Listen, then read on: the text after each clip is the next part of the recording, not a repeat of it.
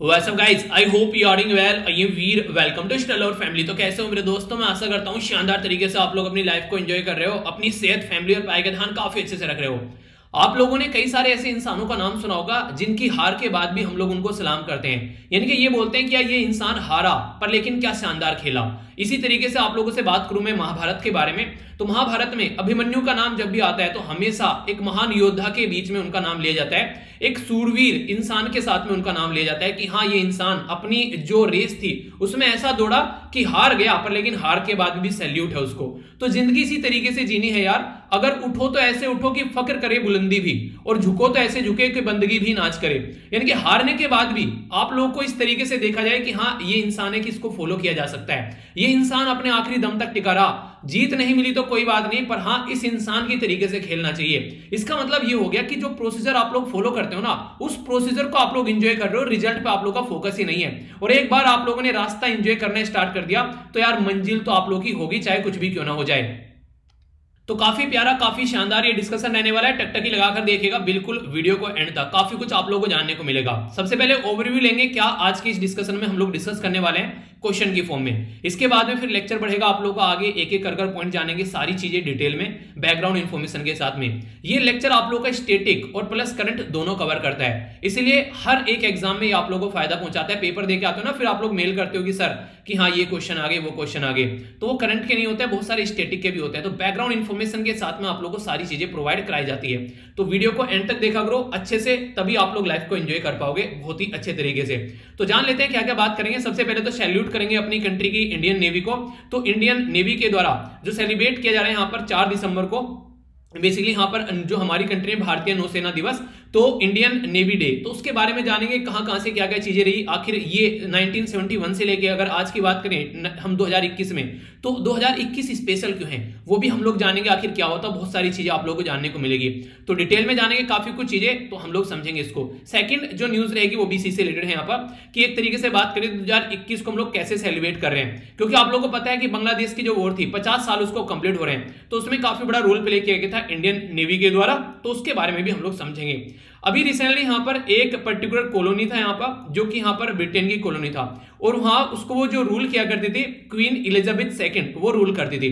अभी यहाँ पर ये, यहाँ से हट गया है और एक अलग न्यू रिपब्लिक बन गया है। तो लगभग 400 साल तक अंग्रेज़ों ने रूल किया। हमारे ऊपर कितने तक किया है? लगभग 200 साल तक किया है। उनके ऊपर 400 साल तक रूल किया है। यानी कि हमसे पहले और हमसे बाद में भी रूल करते रहे।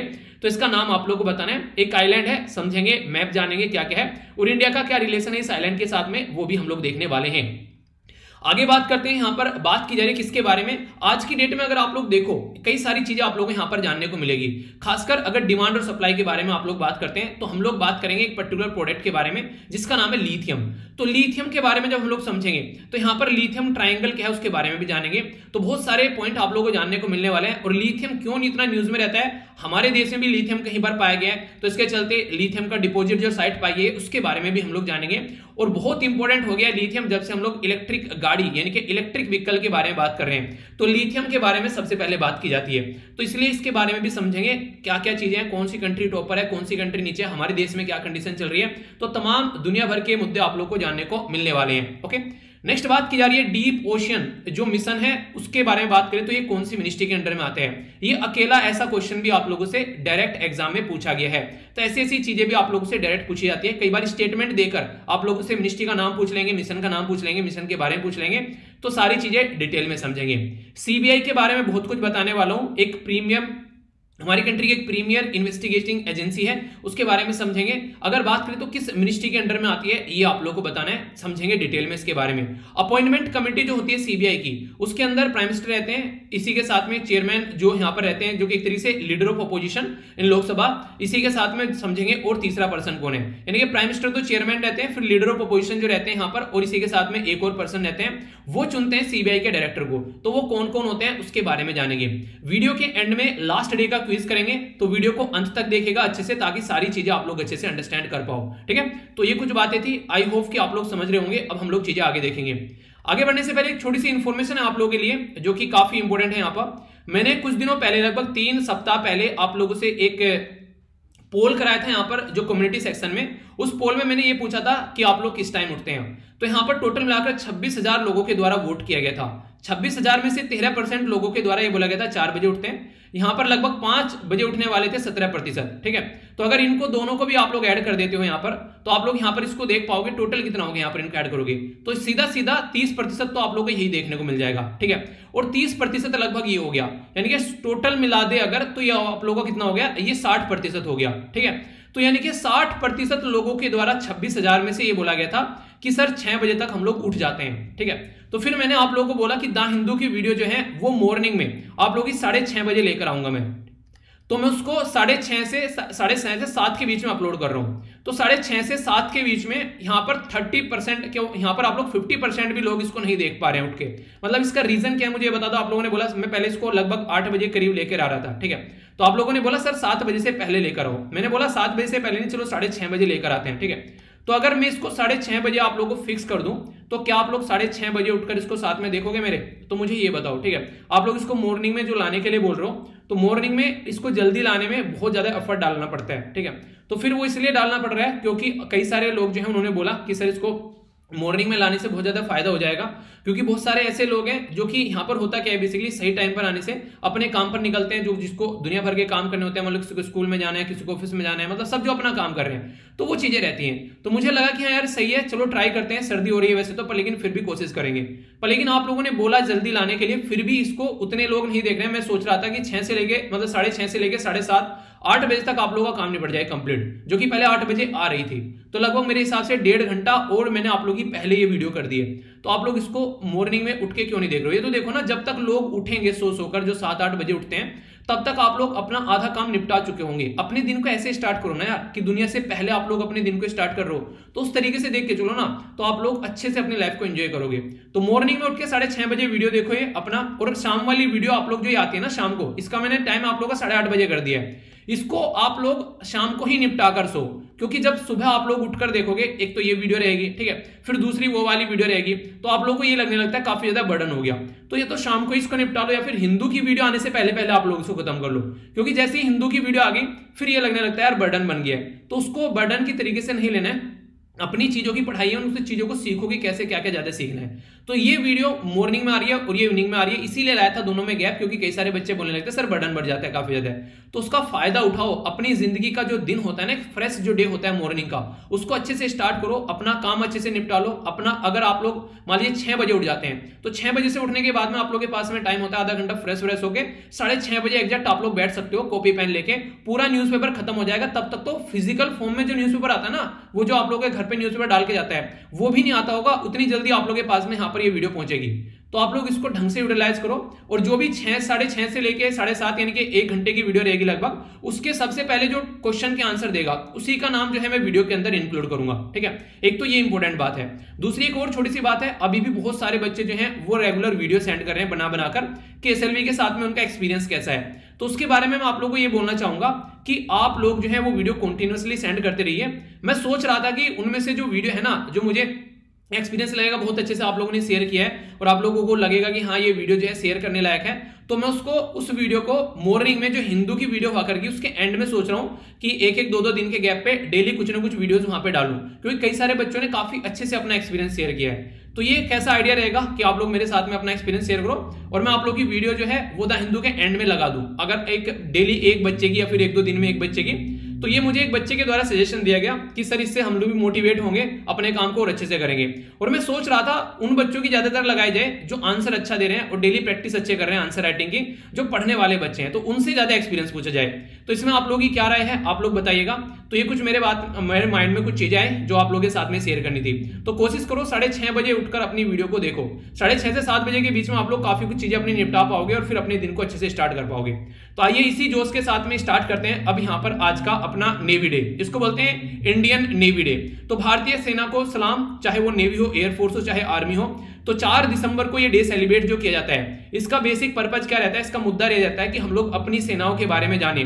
आखिर उनके नाम पर हम लोग ये डे सेलिब्रेट क्यों करते हैं? उसको हम लोग समझें। और जब हम लोग उसको समझेंगे, जानेंगे, तभी तो हमारे अंदर उसके लिए और ज़्यादा रेस्पेक्ट देगी, तभी तो हम लोग उसके बारे में और ज़्यादा समझ पाएँगे।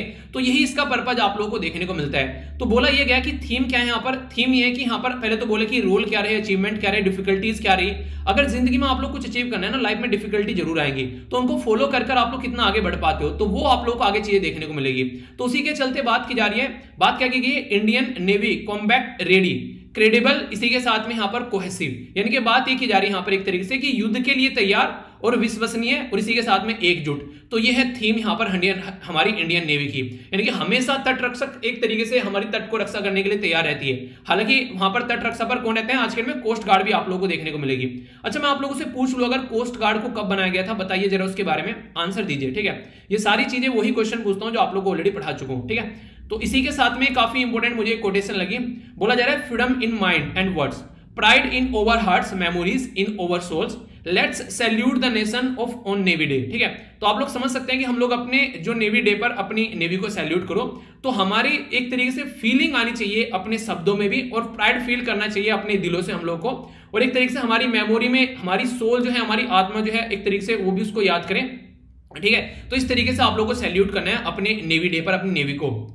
सब सुना होगा ना आप लोगों ने कि salute from the core of my heart तो एक तरीके से अपनी आत्मा से आप लोग बोल सकते हैं, यहाँ पर चीज़ें निकल कर आनी चाहिए। अभी यहाँ पर कई सारी बातें मैं आप लोग को बताने वाला हूँ। जो नेवी है, उसके बारे में अगर बात करें तो यहाँ पर अभी स्वर्णिम विजय वर्ष सेलिब्रेट किया जा रहा है। क्यों सेलिब्रेट किया जा रहा है? क्योंकि 1971 की जो वॉर हुई थी, उसके चलते अगर आप लोग बात करें 50 साल पूरे हो गए तो स्वर्णिम जो यहाँ पर दिवस के रूप में इसको सेलिब्रेट किया जा रहा है। तो फिफ्टी एनिवर्सरी आप लोगों को यहाँ पर देखने को मिलेगी, क्योंकि इंडो पाकिस्तान जो वॉर थी, उसी से बांग्लादेश पैदा हुआ था। तो उससे यहाँ पर ये चीज़ें जो है काफ़ी इंपोर्टेंट हो गई थी, खासकर जब एक पड़ोसी देश नया बना तो नाइनटीन में बांग्लादेश पैदा हुआ था। इंडियन जो नेवी है, वो स्टेब्लिश की गई यहाँ पर ईस्ट इंडिया कंपनी के द्वारा ये 1612 में, ठीक है? जो इंडियन नेवी जो है स्टेब्लिश की गई थी ईस्ट इंडिया कंपनी के द्वारा, ठीक है? तो अब आगे चलकर क्या हुआ यहाँ पर? आप लोगों को देखने को मिला यहाँ पर रॉयल इंडियन जो नेवी थी, उसको पोस्ट इंडिपेंडेंट के बाद में आप लोगों ने क्या कर दिया? उसको इंडियन नेवी का नाम दे दिया गया यहाँ पर 1950 में आगे चलकर। ये मत सोचना, अंग्रेज़ों ने यहाँ पर इसको बनाया था। यहाँ पर इन्होंने इसका नाम रॉयल इंडियन नेवी रखा था, वरना नेवी तो पहले से हमारे देश में देखने को मिल रही थी। ऐसा भी आप लोग यहाँ पर बोल सकते हैं, ठीक है? तो इसके बारे में हल्का सा आइडिया रखेगा ऐसा नहीं कि इन्होंने आगे सारी चीज़ें लाई, वरना पहले भी हमारे देश में जो हमारे राजा रजवाड़े हुआ करते थे, जैसे कि अकबर हो गए, ठीक है? इसी के साथ में जो हमारे पुराने राजा थे, वो भी यहाँ पर काफ़ी अच्छी नेवी की फोर्स उनके पास में हुआ करती थी। जो नेवी डे है, वो ऑब्ज़र्व किया था, चार ये दिसंबर को, आखिर इसका पीछे रीजन क्या है? क्योंकि 1971 में यहाँ पर हमारी कंट्री की नेवी के द्वारा ऑपरेशन लॉन्च किया गया था। ऑपरेशन का नाम याद रखिएगा, ऑपरेशन ट्राइडेंट बोलते हैं इसको, ठीक है? तो ऑपरेशन ट्राइडेंट जो यहाँ पर लॉन्च किया गया, ये कराची हार्बर तो कराची हार्बर पर अटैक किया गया हमारी नेवी के द्वारा और उनकी जो फोर्स थी पाकिस्तान की, उसको बेसिकली पैरालाइज किया गया। तो पाकिस्तान के कई सारे जो यहाँ पर बड़े बड़े जो शिप थे, जैसे पीएनएस पीएनएस खैबर ठीक है? इसी के साथ में यहाँ पर पाकिस्तान के जो नेवल पर्सनल है, कई सारे वो भी इनके मारे गए और इनके चार लगभग यहाँ पर ये शिप थे, इनके वो डुबा दिए गए हमारी नेवी के द्वारा। तो काफ़ी बहादुरी पूर्ण यहाँ पर ये काम हमारी नेवी का देखने को मिला। तो इसी के चलते यहाँ पर ये चार दिसंबर को हम लोग इसको सेलिब्रेट करते हैं। तो पूरे पचास साल भी यहाँ पर आप लोगों को देखने को मिलेगा। इसके कंप्लीट यहाँ पर हो गए हैं जो पर्टिकुलर ये, जो पर्टिकुलर यहाँ पर ये जो डे था। तो इसलिए भी यहाँ पर ये स्वर्णिम विजय वर्ष भी इसको बोला जा रहा है। तो इसलिए बोला गया कि क्वेश्चन बन सकता है। जैसे आप लोगों को याद होगा, मैंने हिंदू के लेक्चर में आप लोगों को पढ़ाया था कि वर्गीस कोरियन जो है, उनको पूरे अभी सौ साल पूरे हो गए उनके जन्म को। यानी कि छब्बीस नवंबर को उनको सौ साल पूरे हो गए उनका जो जन्म हुआ था तब से लेकर अब तक, ठीक है? तो इस तरीके से आप लोग समझ सकते हैं, नाइनटीन में वो पैदा हुए थे, ठीक है? ऐसे आप लोग समझ सकते हैं। और दो हज़ार इक्कीस में अगर आप लोग बात करें यहाँ पर, ठीक है? तो पूरे सौ साल उनके जो जन्म को हो गए। तो इससे आप लोग अंदाज़ा लगा सकते हैं कि एक तरीके से जो भी पर्सनैलिटी इस तरीके से उसके बारे में क्वेश्चन बन सकता है आप लोगों से एग्ज़ाम में। चलिए, उनके द्वारा लिखी गई किताब का नाम आप लोगों को बताना है। देखता हूँ उनके द्वारा लिखी गई किताब का नाम आप लोग बताते हैं नहीं, ठीक है? तो इसके बारे में बात करेंगे। अभी यहाँ पर सीबीआई के बारे में जानेंगे, यहाँ पर बेसिकली आप लोगों से क्वेश्चन पूछा जा सकता है कि ऑब्जेक्टिव क्या है फ़ंक्शन क्या है और जो various security force or agencies हैं, उसके बारे में क्वेश्चन बन सकता है। तो यहाँ पर ये आप लोग के जीएस मेंस के पॉइंट ऑफ़ से भी और प्रीलिम्स के पॉइंट ऑफ़ से क्वेश्चन बन जाएगा। तो यहाँ पर जीएस दोनों आ जाएँगे प्रीलिम्स भी ठीक है? तो क्या होगा यहाँ पर? तो ये आप लोगों से क्वेश्चन बन जाएगा जो वेरियस सिक्योरिटी फोर्स है उसके बारे में। अभी समझ लेते हैं ये न्यूज़ में किस लिए। न्यूज़ में इसलिए है, अभी रिसेंटली अगर बात करें तो सीबीआई जो है, उसको एंट्री करने से मना कर देता है कई सारे राज्य। और बोलते हैं कि आप लोगों को यहाँ पर जनरल कंसेंट लेना पड़ेगा। अगर जनरल कंसेंट किसी ने विड्रॉ कर लिया तो फिर सीबीआई जो है उस स्टेट के अंदर एंट्री नहीं कर पाएगी। तो रिसेंटली सुप्रीम कोर्ट की जो बेंच ने यहाँ पर रेफर किया है, जो भी केस था यहाँ पर सीबीआई से रिलेटेड कि एक जो, एक तरीके से यहाँ की विड्रॉ किया गया है, जो भी यहाँ पर जनरल कंसेंट कि सीबीआई वहाँ पर एंट्री नहीं कर पड़ेगी। तो ऐसे कई सारे राज्यों के द्वारा यहाँ पर ये डिसीज़न लिए गए। तो ये केस पहुँचा है अभी सुप्रीम कोर्ट के अंदर में। पहले तो यहाँ पर आप लोग समझिए जनरल कंसेंट क्या होता है, इसके बारे में हम लोग बात करते हैं। और यहाँ पर ये अकेला जनरल कंसेंट नहीं है, एक और आप लोगों को देखने को मिलेगा। बेसिकली दो तरीके के कंसेंट होते हैं जो सीबीआई के द्वारा यहाँ पर प्रोव की जाती है। एक तो ये रहता है, किसी ने अगर राज्य ने, जैसे हमारी कंट्री में आज के में 28 राज्य हैं अगर 28 के 28 राज्य यहाँ पर जनरल कंसेंट दे देते हैं सीबीआई को मतलब एक तरीके से एक्सेप्ट कर लेते हैं कि हाँ सीबीआई जो है, वो राज्य के अंडर एंट्री कर सकती है। तो फिर सीबीआई क्या रहेगी? एक एवरग्रीन बॉडी बन जाएगी। यानी कि नहीं जैसे यार दोस्त रहते हैं, किसी के घर में जब चाहो मन घुमाओ कि यहाँ अपने दोस्त का घर है, ठीक है? तो वो वाला कंडीशन आप लोग को देखने को मिलेगी। तो यहाँ पर क्या होगा? यहाँ पर ये होगा कि जनरल कंसेंट आप लोग को मिल गया तो एजेंसी को परमिशन लेने की रिक्वायरमेंट नहीं पड़ेगी। हर बार जब भी कोई केस आएगा, ये अपना झोला उठाएँगे और तुरंत जाकर वहाँ पर छापा मारेंगे। कोई करप्शन का केस हो गया, कोई वायलेंस हो गया तो सीबीआई जो है, वो टनाटन एकदम पहुंचेगी वहाँ पर बिना किसी प्रॉब्लम के। तो बिल्कुल ससुराल जैसी बात हो जाएगी। यानी एक तरीके से यहाँ पर ससुराल है। जब चाहो भैया जाओगे तो खैरत एक तरीके से वहाँ पर पूरा चाय पानी का जुगाड़ मिलेगा आप लोग को। वो वाली बात है। पर लेकिन जब यहाँ पर स्पेसिफिक कंसर्न हो जाता है तो फिर यहाँ पर ऐसी बातें नहीं रहती है। फिर क्या हो जाता है? फिर ये हो गया कि अब आप लोगों ने जो राज्य है, उसने वहाँ पर विड्रॉ कर लिया जनरल कंसेंट तो जनरल कंसेंट विड्रॉ कर लिया तो इसका मतलब ये हो गया कि अब आप लोग यहाँ पर जर्नली नहीं जा पाओगे। कोई पर्टिकुलर इंसिडेंट होगा, और यहाँ पर डायरेक्ट नहीं, वो भी। वो भी अगर यहाँ पर कोर्ट वगैरह आप लोग को अलाउ करता है, तभी आप लोग की एंट्री होगी। स्पेसिफिक किसी चीज़ के लिए अगर ग्रांट आप लोग को मिलता है तो रेगुलर तरीके से आप लोग एंट्री नहीं कर पाओगे। तो ये होता है स्पेसिफिक कंसेंट तो यहाँ पर अभी कई सारे राज्य ऐसे हैं जिन्होंने जनरल कंसेंट ले लिया, खासकर जिनको ये लगता है कि सीबीआई जो है, वो सेंट्रल गवर्नमेंट का तोता है और सेंट्रल गवर्नमेंट के हिसाब से काम करती है। तो इसके चलते उन्होंने क्या किया? अभी यहाँ पर सीबीआई की जो एंट्री थी, उसको यहाँ पर जनरल कंसेंट की कैटेगरी में से इन्होंने हटा दिया है, जिसके चलते दिक्कतें देखने को मिल रही है। अब आप लोग बोलेंगे, अगर मान लीजिए किसी राज्य में सीबीआई का केस चल रहा है और सीबीआई ने जनरल कंसेंट हटा दिया है तो फिर क्या देखने को मिलेगा? जो ऑलरेडी केस चल रहे हैं, उन पर क्या होगा? उन पर कोई इंपैक्ट नहीं पड़ेगा, वो चलते रहेंगे। क्यों चलते रहेंगे? क्योंकि यहाँ पर काजी काजी लंधूप, ये डेरोजी वर्सेस सीबीआई का 1994 का केस था, ठीक है? तो यहाँ पर अगर इसके बारे में बात करें तो इसमें ये बोला गया सुप्रीम कोर्ट के द्वारा कि जो केस ऑलरेडी सीबीआई ने हाथ में ले लिया है सॉरी वो कंटिन्यू रहेगा, उसके ऊपर कोई इंपैक्ट नहीं पड़ेगा, जो इंपैक्ट पड़ेगा, वो नए केसेस के ऊपर पड़ेगा। तो ये बातें यहाँ पर इनके द्वारा बताई गई है। तो इतना तो समझ में आ गया।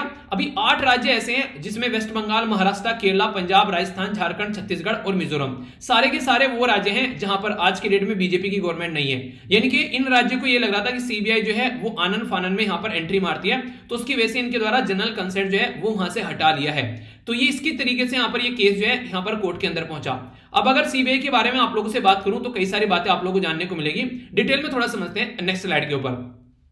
सीबीआई जो है, ये आज की बॉडी नहीं है काफ़ी पुरानी बॉडी है हमारे देश के अंदर में। इसके बारे में आप लोगों से अभी बात करूँगा। पहले यहाँ पर आप लोग ये समझिए, अभी फ़िलहाल कौन कौन किस तरीके से यहाँ पर इसकी चीज़ों को अपॉइंट करता है। सबसे पहले तो सीबीआई जो है, वो एक नॉन स्टेचुटरी बॉडी है। एक तीन तरीके की बॉडी होती है। एक तो होती है यहाँ पर संवैधानिक बॉडी इसको कॉन्स्टिट्यूशनल बॉडी बोलते हैं। दूसरी होती है स्टैट्यूटरी और तीसरी होती है एग्जीक्यूटिव संवैधानिक बॉडी वो होती है जिसके बारे में कुछ ना कुछ संविधान में लिखा हुआ है। या तो कोई आर्टिकल है संविधान में, या फिर अमेंडमेंट करके ऐड किया गया है। जैसे पंचायती राज सिस्टम हो गया। तो 70 यहाँ पर एक एक तरीके सेवेंटी थर्ड कॉन्स्टिट्यूशन अमेंडमेंट के द्वारा इसको ऐड किया गया है। सेवेंटी फोर्थ कॉन्स्टिट्यूशन के द्वारा म्यूनसिपैलिटी को ऐड किया गया है। तो ये बाद में संवैधानिक बॉडी बनी, पहले नहीं थी। तो आज के में संवैधानिक बॉडी है। स्टैचुटरी बॉडी कौन सी होती है, जिसके बारे में संविधान में नहीं लिखा हुआ है, पर लेकिन पार्लियामेंट में लॉ यानी कि एक्ट बनाया गया है पास करके, उसके बेस पर यहाँ पर ये बॉडी बन गई है। वो स्टैचूट दर्जा दे दिया गया है, ठीक है? कई सारी बॉडी होती है। जैसे सेबी हो गया, आज के सिक्योरिटी एक्सचेंज है, ये जो हमारे जो बुढ़े हैं, ये सारी बॉडी होगी। सेबी हो गया, फिर और भी कई सारी बॉडी आप लोगों को देखने को मिल जाएगी जिनके प्रॉपर एक्ट होते हैं, ठीक है? तो यहाँ पर इस तरीके से आप लोग समझ सकते हैं, अगर आज के डेट में आप लोगों से पूछने लगे कोई इस तरीके से, कि कौन सी बॉडी होती है बेसिकली यहाँ पर? ये तो वो बॉडी होती है जिनके लिए एक्ट है ऑलरेडी तो security and exchange board of India उसके लिए एक्ट है प्रॉपर अगर बात करेंगे सेबी एक्ट बोलते हैं 1992 में लाया गया था. तो उससे बनाएगी तो ये क्या होगी? स्टेचुटरी बॉडी होगी. एग्जीक्यूटिव बॉडी कैसे? जैसे आज के डेट में सीबीआई होगी, इसके लिए कोई एक्ट नहीं है. ठीक है, इसी के साथ में अगर बात करें, आप लोग नीति आयोग हो गया, उसके लिए कोई एक्ट नहीं है. तो एक तरीके से यहाँ पर, ये स्टेचुटरी भी नहीं है और ये यहाँ पर एक तरीके से संवैधानिक बॉडी भी नहीं है। अगर बात करूँ इसके बारे में आगे, जो इसका डायरेक्टर इसको हेड करता है आईपीएस रैंक का होता है डायरेक्टर जनरल बोलते हैं पुलिस का इसको। जो यहाँ पर आज की डेट में पावर कहाँ से आती है फिर इसको चलाने की? तो पावर आती है यहाँ पर दिल्ली स्पेशल पुलिस स्टेब्लिशमेंट जो एक्ट है 1946 का, यहाँ से पावर लेती है और इसके बेस पर इसके फ़ंक्शन चलते हैं। उन्हीं के पड़ोसी से मांगकर कुछ अपना जुगाड़ चलाते रहे। तो इनका पड़ोसी यहाँ पर एक्ट इससे यहाँ पर ये काम करते हैं। और जब भी सीबीआई के डायरेक्टर को अपॉइंट करना होता है तो prime minister leader of opposition in Lok Sabha और इसी के साथ में चीफ जस्टिस ऑफ़ इंडिया ये तीन पर्सन ऐसे रहते हैं जो कि इसको डिसाइड करते हैं। अगर लीडर ऑफ़ अपोजिशन और चीफ जस्टिस ऑफ़ इंडिया आपस में मिल जाएँ तो फिर प्राइम मिनिस्टर की भी यहाँ पर नहीं चलेगी। अब की बार भी कुछ ऐसा ऐसा यहाँ पर देखने को मिला। आज की डेट में सीबीआई के डायरेक्टर कौन है, वो आप लोगों को बताना है। बाकी मैं आप लोगों को और कई सारी ऐसी बातें बताऊँगा, जो आप लोगों ने अगर रेगुलर सुन रहे हैं यहाँ पर तो ये सुनी होगी, वरना शायद आप लोग पहली बार सुनोगे। सीबीआई का जो ओरिजन है, वो आज का नहीं है। ये माना जाता है कि स्पेशल पुलिस स्टेब्लिशमेंट बनाया गया था 1941 में। इन्वेस्टिगेट करने के लिए कि करप्शन कैसा हुआ, जब यहाँ पर वर्ल्ड वॉर सेकंड चल रहा था, ठीक है?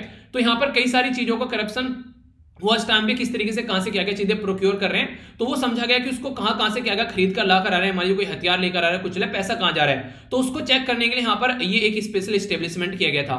फिर आगे चलकर लगा यार ये बॉडी इंपॉर्टेंट है, इसको कंटिन्यू रख सकते हैं। तो यहाँ पर संथनाम कमिटी बनाई गई, यहाँ पर प्रिवेंशन ऑन करप्शन जो कि 1964 से 1962 से 1964 तक इसका टाइम ड्यूरेशन रहा। फिर इस वाली बॉडी ने यहाँ पर काम किया। और इसके द्वारा रिकमेंडेशन दिया गया कि यार कोई सीबीआई जैसी एक बॉडी आप लोग बनाओ। तो इससे पहले यहाँ पर स्पेशल पुलिस स्टेब्लिशमेंट बोला करते थे इसको। फिर आगे चलकर हम लोगों ने सीबीआई बनाई जब बोला कि होम मिनिस्ट्री के अंडर में रहेगी तो लगा यार तो गवर्नमेंट इसको अपने हिसाब से चलाएगी कंप्लीटली तो फिर लगा कि यहाँ से निकालते हैं और इसको मिनिस्ट्री ऑफ़ पर्सनल के अंदर डाल देते हैं। तो आज की डेट में सीबीआई जो मिनिस्ट्री ऑफ़ पर्सनल के अंदर में काम करती है। तो ये तो हो गई इसकी हिस्ट्री के बारे में, जहाँ से कई बार आप लोगों से कई सारे क्वेश्चन पूछे जा चुके हैं। और ये तो इतना क्वेश्चन पूछा गया, फिर बोलते क्वेश्चन कहाँ से आ गया? तो भाई साहब यहाँ से आ गया। तो थोड़ा सा भी ध्यान से सुनोगे तो आप लोग इसको यहाँ पे अच्छे से समझ पाओगे। अब बात करते हैं प्रॉब्लम के बारे में कि क्या क्या प्रॉब्लम एसोसिएटेड है सीबीआई के साथ में। होम मिनिस्ट्री जो है यहाँ पर वो उसका स्टाफ यूज़ करती है, ठीक है? जब इसको कोई भी यहाँ पर डिपेंडेंट है, इसके स्टाफ पर जब भी यहाँ पर इसको कोई इन्वेस्टिगेशन करनी पड़ती है। इंडियन पुलिस सर्विस के थ्रू यहाँ पर, क्योंकि इंडियन पुलिस सर्विस जो होती है होम मिनिस्ट्री के अंडर में आती है। जब कोई केस लड़ना होता है तो मिनिस्ट्री ऑफ़ लॉ से यहाँ पर इसके लॉयर आते हैं। यानी कि एक तरीके से कहा मैंने मांग तांग कर, आप लोग मान लीजिए अपने घर में आज के में, आप लोग क्या बनाना है? आप लोग को मिक्स वेज बनानी है। तो आप लोग बोलोगे, यार, कहीं से आलू निकाल कर लेकर आओ, किसी से आप लोग गाजर निकाल के लेकर आओ, किसी से मटर लेकर आओ, किसी से कुछ और भी डालना है, पनीर डालना है, वो लेकर आओ। तो वो वाली बात होगी यहाँ पर तो मिक्स वेज आप लोग की बन जाएगी। तो सीबीआई की कुछ ऐसी मिक्स वेज बन रही है। तो ये बातें आप लोग समझ सकते हैं। फिर से यहाँ पर ये गलत है, अभी इसको थोड़ा सही कर लेना, इसको फिर से मैं करना छोड़, भूल गया। चलिए भूलोगे नहीं आप लोग। सेकंड एआरसी यहाँ पर आया एडमिनिस्ट्रेटिव जो रिफॉर्म कमीशन थे 2007 में, उसके द्वारा भी बोला गया यहाँ पर कि सीबीआई जो है काफ़ी इंपॉर्टेंट बॉडी है, इसके लिए एक्ट होना चाहिए कोई प्रॉपर वे में, ताकि ये काम कर सके। रीजन क्या था? क्योंकि इंटरपोल जो है, जो कि इंटरनेशनल लेवल पर जो पुलिस है, उसमें यहाँ पर हमारी सीबीआई हम लोग को रिप्रेजेंट करती है तो इसलिए बोला गया यहाँ पर किसके लिए कुछ ऐसा प्रोविज़न होना चाहिए। इसी के साथ में ये सपोर्ट भी प्रोवाइड करती है, जो सीबीसीआई सेंट्रल विजिलेंस कमीशन और लोकपाल, उसको भी सपोर्ट प्रोवाइड कराती है तो इसलिए यहाँ पर सीबीआई का कुछ तो औकात होनी चाहिए। आप लोग ये बोले किसी और के हिसाब से काम करेगी तो वो गलत बात है। ये काफ़ी इंपोर्टेंट यहाँ पर न्यूज़ निकलकर आप लोगों के सामने आ गई। सीबीआई जो है, अगर बात करें, आज की डेट में आप लोगों को देखने को मिला कि एक एग्जीक्यूटिव बॉडी है। इसी के साथ में अगर बात करें, कोई पुलिस जो होती है, वो इन्वेस्टिगेशन जो करती है स्टेट के अंदर में, हर स्टेट की अपनी अपनी पुलिस है। जैसे आप लोगों ने सुना ना, अभी यहाँ पर बिहार पुलिस, उत्तर प्रदेश पुलिस, इसी के साथ में तमिलनाडु पुलिस, सबके बारे में हम लोगों ने डिस्कस किया था। तो यहाँ पर ये क्या होता है? ये स्टेट लिस्ट के अंदर में आता है। जब आप लोग संविधान के सातवें शेड्यूल में जाएँगे, तीन लिस्ट हैं। सेंट्रल लिस्ट हो गया स्टेट लिस्ट हो गया कौन का लिस्ट हो गया। तो स्टेट लिस्ट के अंदर में आते हैं यहाँ पर जो पुलिस का सब्जेक्ट है, खासकर लॉ एंड ऑर्डर का मेंटेन करने का जो सब्जेक्ट होता है। तो इसी के चलते यहाँ पर सीबीआई जो है, वो एक्ट करती है as per the procedure of जो यहाँ पर कोड ऑफ़ जो यहाँ पर कोड ऑफ़ क्रिमिनल प्रोसीजर है सीआरपीसी जिसको आप लोग बोलते हैं, ठीक है? तो यहाँ पर जो एजेंसी है तो सीबीआई को कंसेंट लेना पड़ता है स्टेट से, क्योंकि वो स्टेट की पुलिस के तरीके से वहाँ पर काम करेगी, तब जाकर वो स्टेट के अंदर काम कर पाएगी। अगर कोई कंसेंट विद्रो कर लेता है यहाँ पर, अगर यहाँ पर तो फिर क्या होगा? फिर यहाँ पर सीबीआई वहाँ पर काम नहीं कर पाएगी। बोला ना मैंने अभी यहाँ पर एक तरीके से दो तरीके कंसेंट आप लोगों को देखने को मिलेंगे। तो इस, अगर यहाँ पर एक जनरल कंसेंट विड्रॉ कर लिया तो फिर स्पेशल केस बनेगा, तभी वो वहाँ पर जा पाएगा। इंपॉर्टेंट मुद्दा यहाँ पर यह है कि सीबीआई जो है, वो सेकंड शेड्यूल में रखा गया है राइट टू इन्फॉर्मेशन एक्ट के तहत। यानी कि कोई भी सीबीआई से इन्फॉर्मेशन नहीं ले सकता है। इंटेलिजेंस अगर बात करें यहाँ पर गैदरिंग जो भी इनकी होती है सिक्योरिटी ऑर्गेनाइजेशन है तो यहाँ पर इसको इसलिए सेकंड शेड्यूल में रखा गया ताकि इसको आरटीआई से बाहर रखा जा सके। क्योंकि कई सारे ऐसे केस होते हैं जो कि देश पर काफ़ी ज़्यादा इंपैक्ट डाल सकते हैं तो इसके चलते इसको बिल्कुल अलग रखा जाता है। टेन्योर के बारे में अगर आप लोग बात करते हैं तो टेन्योर ऑफ़ द जो डायरेक्टर रहते हैं, यहाँ पर उसके बारे में बात करें तो सीबीआई जो है वो प्रोवाइड करती है security of two year tenure यानी कि दो साल तक का टेन्योर मिनिमम होना चाहिए, जो यहाँ पर सीबीसी के एक्ट से यहाँ पर निकल कर आता है। याद रखिएगा, मैंने अभी बोला यहाँ पर एक पुलिस स्टेब्लिशमेंट एक्ट है, जिसको दिल्ली पुलिस स्टेब्लिशमेंट एक्ट बोलते हैं। वहाँ से सीबीआई के लिए आप लोग क्या निकालते हैं, उसकी कार्यक्रम निकालते हैं, कैसे सीबीआई काम करेगी। पर लेकिन सीबीआई का टेन्योर जो होता है, वो डिसाइड किया जाता है सीबीसी के द्वारा। जो सेंट्रल विजिलेंस कमीशन है, उसका एक्ट है, उसके हिसाब से यहाँ पर करता है ना की जो पुलिस स्टेब्लिशमेंट एक्ट है तो दोनों अलग अलग हैं। मिनिमम छह महीने का जो बोला जाता है यहाँ पर एक टेन्योर तो इंट्रोड्यूस किया गया था यहाँ पर बेसिकली सुप्रीम कोर्ट के द्वारा, ठीक है? पर लेकिन यहाँ पर अगर बात करें तो लेस देन सिक्स मंथ से नीचे नहीं रहना है, उससे ज़्यादा ही ज़्यादा रहना है। हालाँकि अभी इसको एक एक साल का आगे भी बढ़ाने की बात की जा रही है, वो उसके ऊपर अभी मुद्दे चल रहे हैं। सीबीआई किन किन एरिया में काम करती है तो स्पेशल क्राइम रहते हैं, कई तरीके के आप लोगों को देखने को मिलेंगे। तो इन्वेस्टिगेशन रहती है, काफ़ी एक तरीके से ऑर्गेनाइज कोई क्राइम कर दिया इंडियन पिनल कोड के तहत। तो सुप्रीम कोर्ट और जो हाई कोर्ट रह गए तो यहाँ पर टेरिज्म का मुद्दा हो गया, कोई बॉम्ब ब्लास्ट का मुद्दा हो गया किडनैपिंग का मुद्दा हो गया तो वो बोलते हैं सीबीआई को भाई साहब जाकर चेक तो यहाँ पर सीबीआई उस तरीके से भी काम करती है। इकोनॉमिक ऑफेंडर के कोई फेक इंडियन करेंसी यूज़ करा है बैंक में फ्रॉड कर भाग गया है मालवे टाइप का लोग बन गया कोई तो उसके लिए यहाँ पर ये काम करती हुई नज़र आएगी। एंटी करप्शन केस की भी बात करेंगे यहाँ पर ये, अगर बात करें प्रिवेंशन ऑफ़ द करप्शन अगर कोई पब्लिक ऑफ़िस में है वहाँ पर, एक तरीके से सेंट्रल गवर्नमेंट का पीएसयू का किसी का एम्प्लॉय है, वो कुछ ऐसी हरकतें करे कि सब कुछ चपत कर जाए, कि जनता की एजुकेशन या हेल्थ के लिए पैसा आया था, भाई साहब चपत कर गए। तो वहाँ पर भी ये काम करेगी। शिवमोटो केस भी रहते हैं सीबीआई कैन एक तरीके से शिवमोटो केस भी यहाँ पर काम कर सकते हैं, पर लेकिन वो किसके लिए ओनली वो यूनियन टेरिटरी के लिए। स्टेट के लिए नहीं, क्योंकि स्टेट में तो आप लोगों को मैंने भी बताया, वहाँ पर ऐसे काम नहीं करेगी। तो सेंट्रल गवर्नमेंट जो है, वो ऑथोराइज करती है सीबीआई को कि वो इन्वेस्टिगेट कर सकते हैं स्टेट के अंदर। पर लेकिन उन्हीं के अंदर जिस स्टेट ने यहाँ पर कंसेंट दिया है, इसी के साथ में अगर स्टेट ने कंसेंट नहीं दिया है तो क्या फिर भी सीबीआई एंट्री कर सकती है? जी हाँ, बिल्कुल कर सकती है। अगर सुप्रीम कोर्ट या फिर हाई कोर्ट सीबीआई को ऑर्डर दे इन्वेस्टिगेशन का तो बिना कंसेंट के भी यहाँ पर सीबीआई जो है, उस स्टेट के अंदर एंट्री कर सकती है। तो सीबीआई जो है एंट्री कर सकती है। ये स्पेशल कैटेगरी का एक तरीके से यहाँ पर ये आप लोगों को सीबीआई की एंट्री बोल सकते हैं। सीबीआई की जो जुडिक्शन है इन्वेस्टिगेशन की यहाँ पर तो बात करें तो 69 तो सेंटर के द्वारा ऐसे लो बना रखे जिसमें सीबीआई अपने काम कर सकती है। 18 स्टेट के ऐसे एक्ट है और यहाँ पर 231 ऑफेंसेस हैं इंडियन पिनल कोड के तहत, जहाँ पर भारतीय दंड संहिता के तहत, जहाँ पर सीबीआई जो है वो इन्वेस्टिगेट कर सकती है। तो सीबीआई का दायरा जब इतना बड़ा है तो फिर आप लोग इसको स्टेचुटरी बॉडी क्यों नहीं बनाते हो? तो इसके ऊपर क्वेश्चन मार्क लगा रहता है कई बार, क्योंकि स्टेचुटरी बॉडी बना देंगे तो सेंट्रल गवर्नमेंट के हाथ में जो पावर है सीबीआई को अपने हिसाब से चलाने की, वो वाली पावर चली जाएगी और उसी के चलते सारा मुद्दा देखने को मिलता है। तो समझ में आ गया? कोई कंफ्यूजन नहीं होना चाहिए, पूरा डिटेल में मैंने आप लोगों को मुद्दा समझाया। इसीलिए ताकि कोई भी कंफ्यूजन आप लोगों के माइंड में इसको लेकर कभी न रहे ओके अब जो नेक्स्ट वाला आर्टिकल मैं आप लोगों से डिस्कस करने वाला हूँ, ये काफ़ी इंपॉर्टेंट है मैप भी आप लोगों को देखने को मिलेगा और कई सारी बातें आप लोगों को जानने को मिलेगी। एक पर्टिकुलर आइलैंड है जिसका नाम है यहाँ पर, जिसका नाम है यहाँ पर बारबाडोस ठीक है? तो बारबाडोस जो यहाँ पर ये आइलैंड है, वो अभी महारानी को साइड में उठाकर फेंक दिया उन्होंने और बोला कि आज से हमारे ऊपर महारानी रूल नहीं करेगी। तो ये क्या है चक्कर पूरा, क्या है समझेंगे पूरा? पहले आप लोग लोकेशन देखिए। अपनी प्यारी कंट्री यहाँ पर होगी और यहाँ पर आप लोगों को ये बार बार देखने को मिलेगा। ये पर्टिकुलर आइलैंड आप लोगों के सामने है। एक पर्टिकुलर माउंटेन है यहाँ पर जो आप लोग याद रखते हैं, क्योंकि बहुत ज़्यादा न्यूज़ में है तो हल्का सा आइडिया रख सकते हैं। यहाँ पर इसको बोला गया माउंटेन हेलाबे ठीक है? तो ये आप लोगों को देखने को मिलेगी। सिक्स मेन्स बे आप लोगों को यहाँ पर देखने को मिलेगा। इसी के साथ में यहाँ पर ये है चार्लिसली जो बे आप लोगों को नज़र आएगा यहाँ पर। इधर हो गया ये कैरेबियन सी ठीक है? इसी के साथ में यहाँ पर एक रीफ देखने को मिलेगा, ठीक है? जैसे कि कोरल रीफ होते हैं तो उसकी बात की जा रही है। तो ये क्या है? यहाँ पर ये कोबलर्स रीफ है तो ये इस पर्टिकुलर एरिया में आप लोगों को नज़र आएगा। तो इसकी ज्योग्राफिकल लोकेशन हो गई अभी हुआ क्या? बार बार दोस्तों ने बोला कि रानी जो है, वो हमारे ऊपर रूल नहीं करेगी। तो रानी रूल क्यों कर रही थी? अगर उसके बारे में आप लोगों से बात करूँ तो ये काफ़ी इंपोर्टेंट मुद्दा है। जब से आज की डेट में पहले ऐसा हुआ करता था कि काफ़ी सारे ऐसे देश थे जहाँ पर आज की डेट में आप लोग बोले अंग्रेज़ रूल कर रहे हैं। तो उस टाइम पर अंग्रेज़ रूल क्या करते थे? उनमें से हमारा भी देश ऐसा था। इवन हमारा तो चलो आप लोग बात कर ही रहे हैं फिर भी। इवन आज की डेट में भी अगर आप लोग बात करें तो कैनेडा आप लोग यहाँ पर देखने को मिलता है। तो कॉमनवेल्थ के अंदर कैनेडा भी है आज की डेट में। तो मैक्सिमम वो देश है जहाँ पर यहाँ पर आज की डेट में रूल किया गया था अंग्रेज़ों के द्वारा। और फिर वो इंडिपेंडेंट हो गए, अपना खुद का संविधान बना लिया, अपनी खुद की गवर्नमेंट चला रहे हैं। जैसे कि हमारा भी देश है, उसमें से एक। तो वो सारे देश जो हैं, वो कॉमनवेल्थ नेशन बोले जाते हैं। यानी कि उनको याद दिलाने के लिए कि तुम हमारे गुलाम थे कभी, ये कॉमनवेल्थ का एक ग्रुप बना दिया गया, उनको ये फेल कराने के लिए। ऐसा कुछ नहीं है। ये एक ऐसा ग्रुप है जिसमें आप लोग आज़ाद होने के बाद भी आपकी मर्ज़ी है, आप लोग यहाँ पर इनके राज्यों को मान सकते हैं, वरना आप लोग अपना इंडिपेंडेंट कॉन्स्टिट्यूशन बनाकर अपने हिसाब से काम कर सकते हैं। तो ये चीज़ें यहाँ पर देखने को मिली। तो चौवन ऐसे स्टेट है यहाँ पर, या टेरिटरीज हैं जो कि ब्रिटिश के जो एम्पर को यहाँ पर मानते थे पहले, पर लेकिन अब ऑलमोस्ट जो है, वो खत्म होते जा रहे हैं। कोई लीगल ओब्लिगेशन नहीं है कि यहाँ पर लिखा हुआ है कि आप लोग इनके कंट्रोल में रहना है। पर हाँ ये है कि बस एक दूसरे से कनेक्ट रहो, चलो यार, इतने दिन तक साथ में रहे। साथ में कह रहे? तुमने यार ऐसी तैसी कर डाली पूरे देश की। लूट डाला पूरा। बस अब ये है, हम ताकतवर हो गए, छुट गए तुमसे तो अब आप लोग याराना कर रहे हो। उस टाइम पर तो कोई याराना नहीं था, आप का तो इंग्लिश लैंग्वेज जो है, वो काफ़ी हिस्टोरिक टाई ये दो मुद्दे हो गए दोनों को कनेक्ट करने के। और फोकस ये रहता है कि डेमोक्रेसी को मेंटेन रखा जाए, कि जनतंत्र होना चाहिए, इंसानों के हकों का यहाँ पर पालन होना चाहिए, और एक प्रॉपर रूल के थ्रू काम होना चाहिए। तो ये कॉमनवेल्थ का चार्टर बनाया गया इस तरीके से। इसी में जो कॉमनवेल्थ के जो गेम होते हैं, वो इन्हीं लोगों के लिए होते हैं। तो यानी कहने का मतलब यह है कि ये जो गेम होते हैं, यहाँ से निकल कर आते हैं, ठीक है? अगर बात करें, आप लोग देखते हैं, इंडिया, पाकिस्तान तो नज़र आएगा यहाँ पर आप लोग देखते हैं, इधर ऑस्ट्रेलिया हो गया, कई सारे अफ्रीकन कंट्री होगी इवन यहाँ पर कनाडा हो गया तो ये सारे आप लोग यहाँ पर नज़र आएँगे। हेडक्वार्टर इसका लंदन में आप लोगों को नज़र आएगा वर्किंग लैंग्वेज इंग्लिश है, और क्वीन एलिजाबेथ जो होती है, वो इसकी हेड मानी जाती है। वॉलेंट्री है यहाँ पर, मैंने बोला एसोसिएशन कोई यहाँ पर ऐसा नहीं है कि आप लोगों को इनके नीचे रहना ही रहना है तो आप लोग अपनी मर्ज़ी से छोड़ सकते हैं। प्रेजेंट टाइम का जो कॉमनवेल्थ है, अगर उसके बारे में कोई आप लोगों से बात करें तो याद रखेगा वो 1949 में स्टेब्लिश किया गया लंदन डिक्लेरेशन के थ्रू बनाने का प्रोसेसर पहले ही स्टार्ट हो गया था। यहाँ पर बाल फोर्स डिक्लेरेशन आया था, यहाँ पर 19 नवंबर को।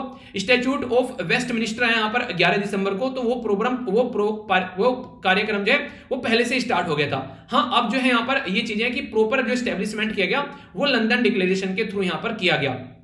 और कई सारी बातें आप लोगों को जानने को मिलेगी, जैसे मैंने बताया अभी यहाँ पर। तो जो एम्पर है यहाँ पर बेसिकली ब्रिटिश के हैं तो उनके बेसिकली यहाँ पर लीड करते हैं। तो लंदन डिक्लेरेशन क्वीन एलिजाबेथ। अब दो इंपॉर्टेंट बातें याद रखेगा ऐसा नहीं पर गरीब देश है।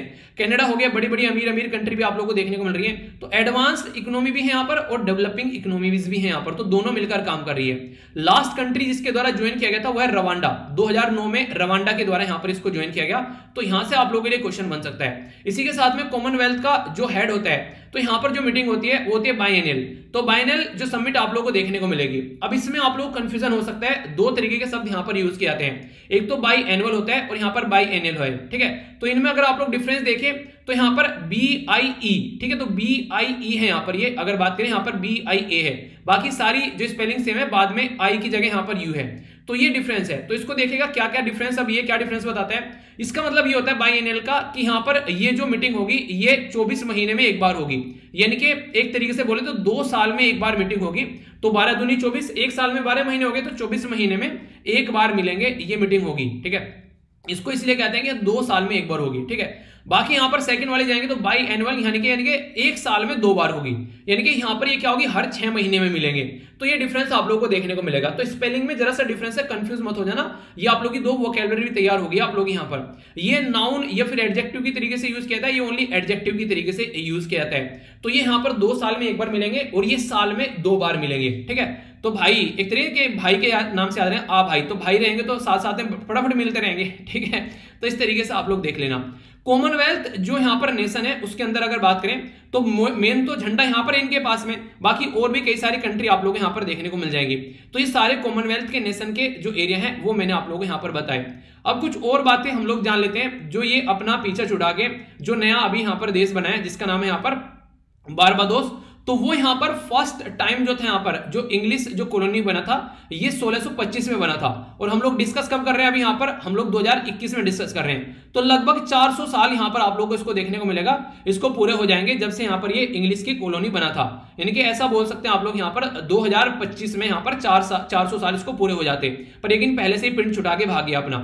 यहाँ पर किस लिए कंपनी गई थी? तो क्या क्या किया गया? तो सेंचुरी से यहाँ पर इनको सप्रेस किया जा रहा था ट्रेड व्यापार किया जा रहा था तो इनको कॉलोनी बना लिया गया। कॉलोनी बना लिया व्यापार के लिए और उपनिवेश बना लिया कैसे? जैसे हमारे देश में नहीं था, यहाँ से क्या करते थे हमारे देश में से? रो मेटीरियल निकाला करते थे और ले जा, ले जाकर अपना देश में ले जाते थे और फिर वहाँ से एक बना, बनाया प्रोडक्ट लाते थे, हमारे देश में बेच देते थे। यानी कि जैसे कपास ले गए निकाल के और वहाँ से फिर कपड़े बनाकर हमारे देश में ले आए तो हमारे देश में डबल प्राइस में बेच रहे हैं। तो ये हरकतें किया करते थे। बहुत सारे लोगों को यहाँ पर इनके द्वारा लेबर फोर्स या फिर सलेब बनाया गया, ठीक है? कोई डेमोक्रेसी नहीं थी तो वो सारे मुद्दे यहाँ पर देखने को मिले। तो इसके चलते यहाँ पर लोगों के अंदर खौफ बैठ गया था। तो इंस्टीट्यूशनलाइज कर दिया यहाँ पर एक तरीके से। एक लोगों के अंदर डर नहीं बैठ जाता है कि यार ये पता नहीं क्या चलता रहेगा यहाँ पर। तो वो वाले मुद्दे भी यहाँ पर देखने को मिले। तो बार बदोश जो है उसके द्वारा लगा कि अब सही मौका है, अभी यहाँ पर चौका मार लेते हैं। तो साउथ ईस्टर्न कैरेबियन सी में आप लोगों को ये नेशन नज़र आएगा, जिसके बारे में भी आप लोगों से बात की। नेबरिंग कंट्री कई सारी छोटे छोटे आइलैंड आप लोगों को देखने को मिलेंगे। सेंट लुइस वगैरह हो गया, नॉर्थ सेंट जो वेंसेंट हो गया यहाँ पर, ठीक है। आप लोगों को मैप में दिखाना, मैंने अभी थोड़ा सा और यहाँ पर लोकेशन दिखाता हूँ, ये आप लोग देखते हैं, ठीक है। एक्जैक्टली यहाँ पर आप लोग देखिए, ठीक है। तो ये आप लोग को देखने को मिलेगा। तो कैरेबियन सी में आप लोग को नज़र आएगा। इसी के साथ में यहाँ पर ग्रेना, ये आप लोग को देखने को मिलेगा। ऊपर इसके नॉर्थ अटलांटिक ये नज़र आएगा यहाँ पर, ठीक है? इसी के साथ में बात करें यहाँ पर तो ब्रैक टाउन जो है यहाँ पर इसकी कैपिटल आप लोग को देखने को मिलेगी। नवंबर 30 1966 में बारबाडोस जो है उसके द्वारा इंडिपेंडेंस लिया गया। पर लेकिन फिर भी यहाँ पर इनकी महारानी जो थी, वो यहाँ पर एज ए रूल करती थी, उसका जन्मदिन सेलिब्रेट करते थे, जैसे कनाडा करता है। तो आप लोग बोल सकते हैं। बाकी अगर बात करें यहाँ पर जो प्रेसिडेंट है आज के में, जिनकी अध्यक्षता के अंदर ये सारा काम चला भी, इनका नाम याद रखते हैं। इनका नाम है यहाँ पर क्या है? डैम डैम सांद्रा, प्रूलिया, जो मैसोन, ठीक है? तो यहाँ पर डी एस पी डी ये तो अच्छा नाम बन गया। डीएसपी मैसोन आप लोग याद रखना, ठीक है? डीएसपी मैसोन, ठीक है? तो ये इनका नाम है यहाँ पर प्रेसिडेंट है जो आज के डेट में। और पार्ट है कैरेबियन कम्युनिटी का, जो कि यहाँ पर 1973 में फॉर्म की गई थी। तो ये नॉर्थ अमेरिका के अंदर एक एरिया आप लोग को देखने को मिलेगा। अब कुछ ऐसी बातें जान लेते हैं जो कि हमारे लिए भी इंपॉर्टेंट हो जाती है कि हमारे रिलेशन है इसके साथ में कुछ। तो आप लोग दो तरीके से इसको देख सकते हैं। एक तो यूनाइटेड नेशन का आप लोगों को जो पार्ट देखने को मिलेगा ये तो यानी कि वहाँ पर पार्ट है, जी हाँ पार्ट है तो इंडिया के साथ में भी कभी ना कभी मिलचिल होता रहता है। ठीक है? इसी के साथ में कॉमनवेल्थ का पार्ट है इंडिया पार्ट है, ये भी पार्ट है, जी हाँ बिल्कुल है। नॉन अलाइन मूवमेंट नेम के बारे में आप लोगों ने सुना होगा, ठीक है? और इसी के साथ में और भी कई सारे इंटरनेशनल ऑर्गेनाइजेशन जहाँ पर ये मिलकर काम करते हैं। बारबादोस जो है यहाँ पर ये सिग्नेटरी है इंटरनेशनल सोलर अलायंस का। अब तो हो गया ना सीधे सीधे रिलेशन अब तो हमारा हम तो हमारा दोस्त हो गया। तो ये तो मेरा दोस्त है, ठीक है? तो इसी के साथ में यहाँ पर इसके द्वारा रेक्टिफाई भी कर दिया गया था इसको। तो रेक्टिफाइड किया गया यहाँ पर 2021 में। तो ये इंपॉर्टेंट हो गया। साइन किया गया यहाँ पर एयर सर्विस एग्रीमेंट 2015 में, जिसके चलते जो ट्रेवल एग्रीमेंट दोनों कंट्री के बीच में देखने को मिला। फ़र्स्ट एवर फॉरेन ऑफ़िस, जो कंसल्टेंसी यहाँ पर आप जो फॉरेस्ट फॉरेस्ट ऑफ़िस जो कंसल्टेशन यहाँ पर देखने को मिला इंडिया और बारबाडोस में, वो यहाँ पर कहाँ पर हुआ? बारबाडोस के अंदर हुआ, जिसकी कैपिटल थी यहाँ पर, ठीक है? तो यहाँ पर ब्रैकटन के अंदर देखने को मिला था 2015 में। तो रिलेशन तो अच्छे हैं, ऐसी तो बात है नहीं कि हम लोगों ने बात भी नहीं की अभी तो बात तो कर रहे हैं। इंडिया और बारबाडोस के जो रिलेशन है, और अगर आप लोग आगे बात करोगे तो ये सपोर्ट करता है जी का जो रिजोल्यूशन है। यानी कि यूएन सिक्योरिटी काउंसिल को बढ़ाना है आगे लेकर चलने में तो बारबाडोस हमको सपोर्ट करते हैं। और वोट करते हैं इंडिया के लिए कि इंडिया को भी यहाँ पर आगे चलकर सीट मिलनी चाहिए यूएनएससी के अंदर में प्रॉपर ठीक है? तो कैंडिडेटर जो थे यहाँ पर उसने सपोर्ट भी किया था हमारी कंट्री के लिए, जो 2011-12 में। और सपोर्ट करते हैं इंडिया के कैंडिडेटर को परमानेंट सीट के लिए भी। इसी के साथ में अगर एक्सपोर्ट के बारे में बात करें, हमारी कंट्री से एक्सपोर्ट जो यहाँ पर देखने को मिला तो बारह सात छह मिलियन का एक्सपोर्ट देखने को मिला।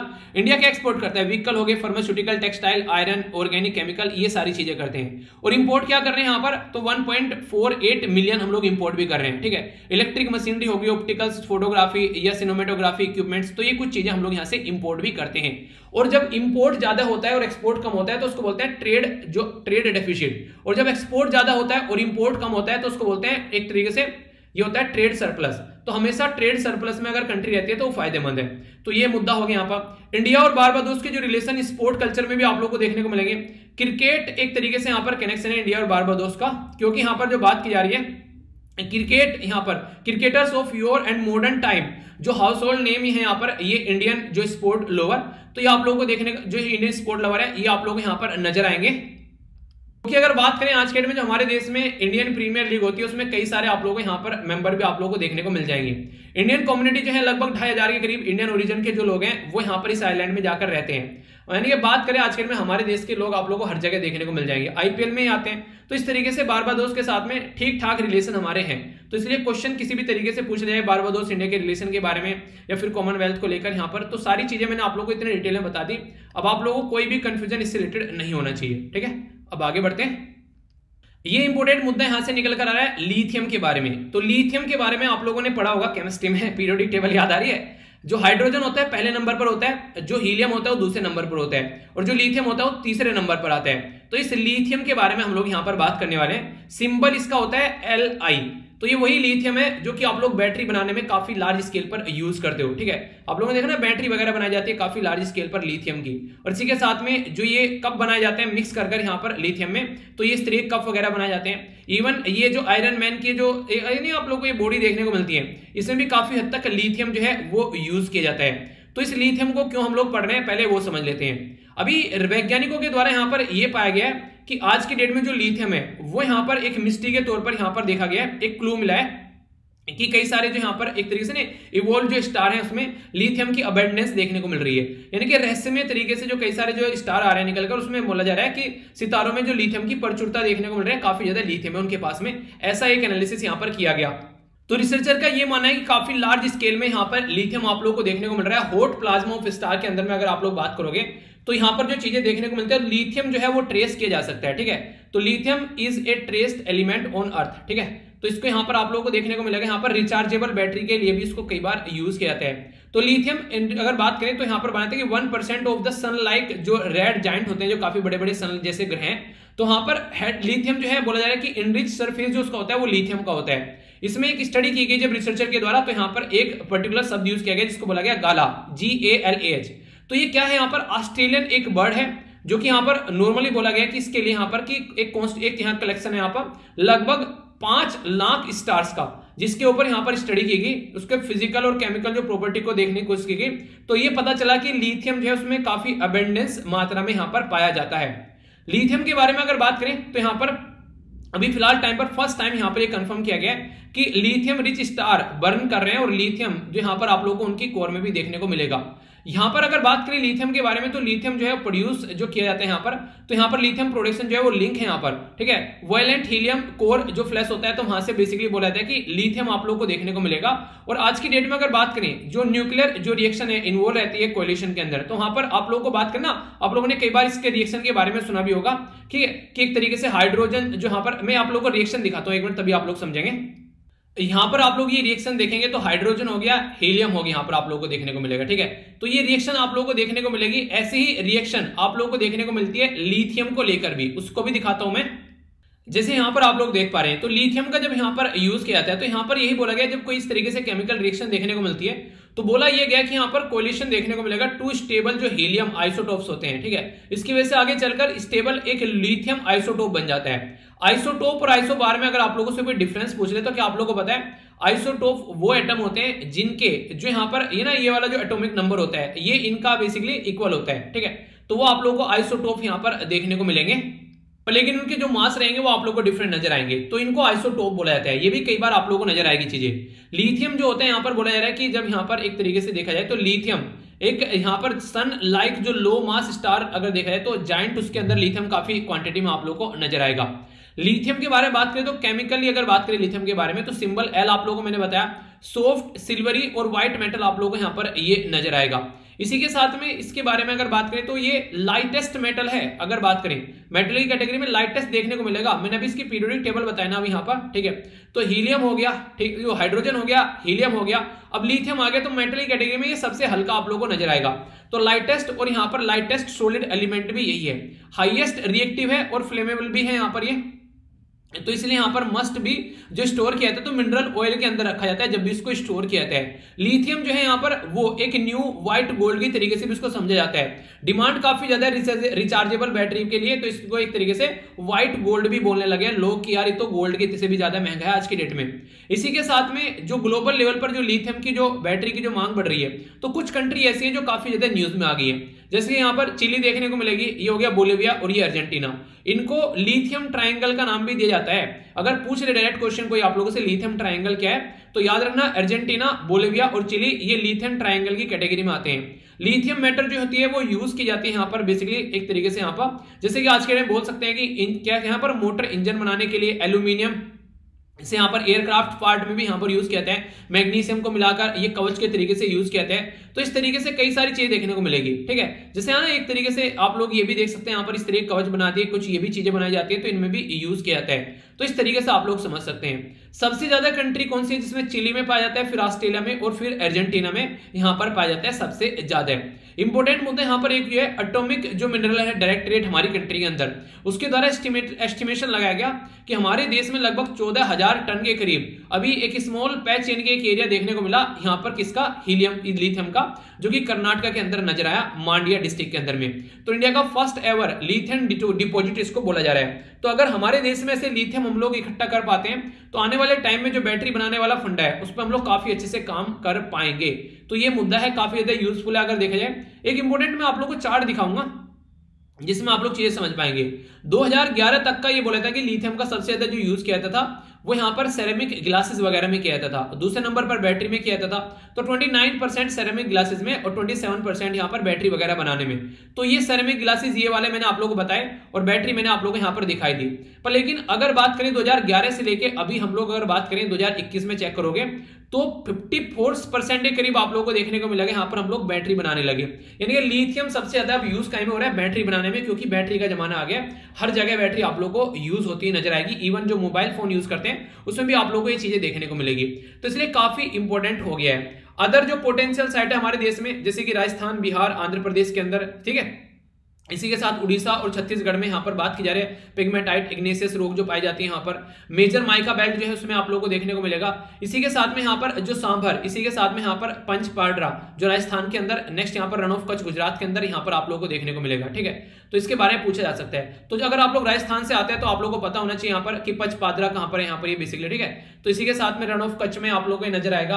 अगर गवर्नमेंट के इनिशिएटिव के बारे में बात करें तो इनके द्वारा यहाँ पर एक पर्टिकुलर कंपनी है। जिसको बोलते हैं यहाँ पर बेसिकली खनिज विदेश इंडिया लिमिटेड ठीक है? तो ये जो पर्टिकुलर कंपनी है, ये इसी के एरिया में काम करती है और अर्जेंटीना के साथ में ज्वाइंटली हम लोग बेसिकली अपने ना काम भी कर रहे हैं अर्जेंटीना में लिथियम को लेकर। तो ये काफ़ी इंपॉर्टेंट है यहाँ पर। और ये कंपनी जो है काफ़ी इंपॉर्टेंट है। विदेशों में अगर कोई भी काम करना है लिथियम से रिलेटेड तो ये कंपनी हमारी काम करती है, नज़र आती है। अभी देश में हम लोग कई सारे इलेक्ट्रिक व्हीकल को लॉन्च करने की बात करें तो लिथियम काफ़ी बड़ा रोल प्ले करेगा। डिपेंडेंसी देखने को मिलेगी किस किस कंट्री पे कितनी है। तो मैंने अभी बताया आप लोग यहाँ पर, याद रखेगा सबसे ज़्यादा चिली में आजकल में फिर ऑस्ट्रेलिया और फिर अर्जेंटीना में तो ये तीन देश आप लोगों को पता होना चाहिए, ठीक है? तो बेसिक इन्फॉर्मेशन है कंफ्यूजन कुछ नहीं होना चाहिए। एक काफ़ी बड़ा मुद्दा यहाँ पर निकल कर आ रहा है तमिलनाडु की साइड से, क्योंकि तमिलनाडु के जो मुख्यमंत्री हैं, उनके द्वारा क्या किया गया सेंट्रल गवर्नमेंट से बात की गई यूनियन टेक्सटाइल मिनिस्टर से, और उनको बोला गया कि इंपोर्ट ड्यूटी जो है कॉटन के ऊपर जो लगाई जाती है, उसको हटा दो। होटल के ऊपर अगर इंप्योर ड्यूटी हटा दी जाएगी तो इससे क्या रहेगा? आसानी से हम लोग रॉ मटेरियल लेकर आ पाएँगे और अच्छे से प्रोडक्ट अपने एरिया में बना पाएँगे। तो इंपोर्ट ड्यूटी बाहर से प्रोडक्ट जब हम लोग लेकर आते हैं, उसके ऊपर लगाई जाती है। टेक्सटाइल जो है, वो सेकंड लार्जेस्ट इंप्लॉय प्रोवाइड कराने वाला एरिया है। अगर बात करें स्टेट के अंदर भी और देश के अंदर भी काफ़ी बड़ा रोल प्ले करते हैं। One by third size of the textile जो बिज़नेस है, वो आप लोग को तमिलनाडु के अंदर देखने को मिलेगा। अगर बात करें तो 11 परसेंट यहाँ पर इंपोर्ट ड्यूटी लगाई जाती है कॉटन का जब इंपोर्ट किया जाता है। यानी धागा वगैरह बनाते हैं वो सब चीज़ें, फिर कॉटन की जो प्रोक्योरमेंट के बाद में। तो यहाँ पर बोला जा रहा है कि पाँच परसेंट जो इंटरेस्ट सबवेंशन स्कीम भी देनी चाहिए, यानी कि इसके ऊपर छूट भी देनी चाहिए, बल्कि पाँच परसेंट की ताकि हमारे देश में कॉटन के जो मिल है, वो और अच्छे लेवल पर यहाँ पर काम कर सके, जब सीज़न रहेगा दिसंबर से लेकर मार्च तक का। तो इसके चलते क्या होगा, हमारी कंट्री में से जो ये वाला उद्योग है, वो अच्छे से काम करेगा और एक्सपोर्ट भी हम लोग कर पाएँगे। ये काफ़ी अच्छा रहेगा। अभी फ़िलहाल मिनिमम अगर बात करें साइज़ जो है ई ऑक्शन का, वो 500 बोल के करीब आप लोगों को देखने को मिलेगा। यानी गट्ठे बांधे जाते हैं, उसको एक तरीके से गट्ठा बांधा जाता है कॉटन का, वो है। तो माइक्रो स्मॉल मीडियम एंटरप्राइज के अंदर ये काफ़ी इंपॉर्टेंट है। अगर इसको आप लोग कर पाते हैं तो हम लोग अच्छे से काम को आगे लेकर चल पाएँगे। रीजन भी है डिमांड के लिए यहाँ पर बेसिकली आज के डेट में अगर बात करें, काफ़ी सिचुएशन ग्रेव हो गई है कॉटन की और बात करें यहाँ पर रैन के प्राइस जो है वो काफ़ी ज़्यादा ऊपर नीचे होते रहते हैं, जिसकी वजह से फिर कपड़े के प्राइस भी आप लोगों को बढ़ते हुए नज़र आते हैं। अच्छा आप लोगों ने कई बार सुना होगा कि यहाँ पर किसी पर्टिकुलर प्रोडक्ट के किसानों को प्राइस अच्छे मिलने चाहिए, ठीक है? बेसिकली होता क्या है, किसानों को तो प्राइस नहीं मिल पाते हैं बिचौलिया खा जाते हैं सारी। उसकी वजह से दिक्कतें देखने को मिलती है और फिर गरीब तबके का जो सोसाइटी का लोग है, उसके ऊपर इंपैक्ट पड़ता है और ये लगता है पैसा किसान के पास में जा रहा है। जबकि किसान के पास में जाता ही नहीं है। तो कई जगह ऐसी भी दिक्कतें आप लोग को देखने को मिलती है।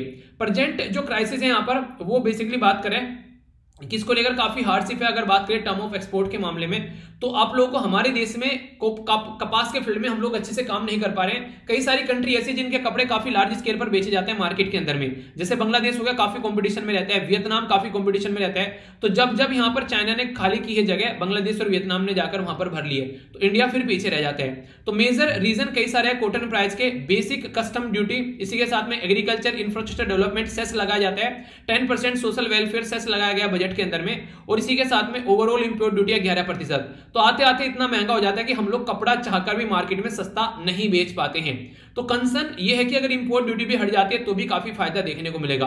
तो कॉम्पिटेटिवनेस जो है, वो उसमें हम लोग कहीं ना कहीं सामने खड़े हो पाएँगे बाहर की कंट्री के, और इसी के साथ में बिज़नेस भी यहाँ पर बोला जा रहा है। पचास हज़ार करोड़ के करीब एक्सपर्ट जो है यहाँ पर, वो आप लोगों को देखने को मिलेगा, और पच्चीस करोड़ डोमेस्टिक तो लोगों को जॉब मिलेगी। लगभग माना जा रहा है कि बारह लाख के करीब लोग यहाँ पर इस पर्टिकुलर एरिया में जॉब भी करते हुए पाए जाते हैं। तो इसलिए यहाँ पर इस एरिया में काम करना काफ़ी ज़्यादा ज़रूरी है। कॉटन का जो इंपोर्ट है, वो एक कैश क्रॉप के तरीके से होता है गन्ना आप लोग उगाते हैं। तो कैश क्रॉप के तरीके से होता है, ठीक है? तो काफ़ी बड़ा रोल प्ले करता है। तो इंडस्ट्रियल और एग्रीकल्चर इकोनॉमी के अंदर इसका काफ़ी बड़ा डोमिनेंस रहता है। अगर बात करें largest producer of cotton in the world अगर बात करें और कौन एक्सपोर्टर है? तो इंडिया जो है वो लार्जेस्ट प्रोड्यूसर है और इसी के साथ में थर्ड लार्जेस्ट एक्सपोर्टर है।